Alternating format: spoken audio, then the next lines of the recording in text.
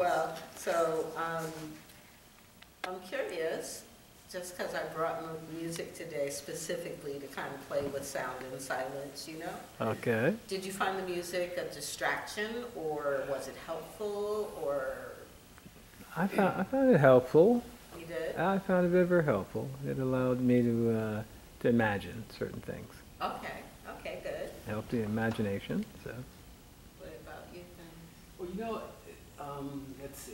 I think that if you had a song about heroes, might have been really inspiring for me. Uh-huh, But uh-huh. I found that to be a little like, okay, whatever. Oh, okay, okay, no, that's Right? good, Be honest. good, fe- good I'll, I'll leave feedback. now if you want. No. I'm not playing Okay. the game. No.